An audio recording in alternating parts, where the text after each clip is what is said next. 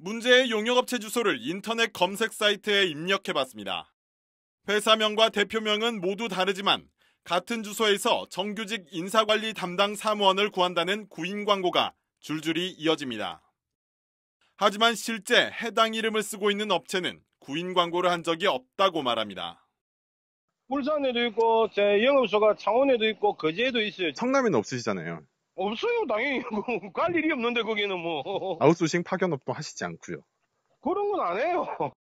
피해자들이 구인 사이트에 신고해 공고글을 올릴 수 없게 되자 다른 업체의 명의와 사업자 번호를 도용한 겁니다.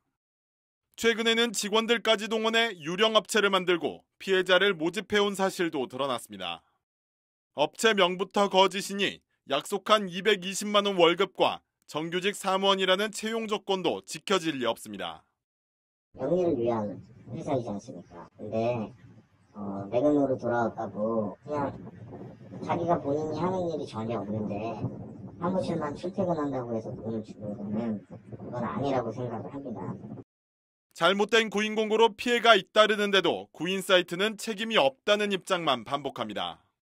신고가 들어온다면 모를까 저희가 회사 뭐 아이디가 어저 아이디가 바뀌는 거, 그 기업번호 다 바뀌는 거에 대해서는 제가 좀 확인할 수가 없습니다. 워낙 기업체가 많기 때문에요. 그 정도로 막 치밀하게 정보를 다 갈아치운 다음에 등록하면 그거에 대한 조치는 좀 아무래도 좀 힘들겠죠. 직장을 구하는 청년들이 가장 많은 정보를 얻고 있는 구인구직 사이트. 허위 공고가 올라오더라도 지금으로서는 구직자 스스로 꼼꼼히 알아보는 것 외에는 피해를 피할 길이 없습니다. KBC 박성호입니다.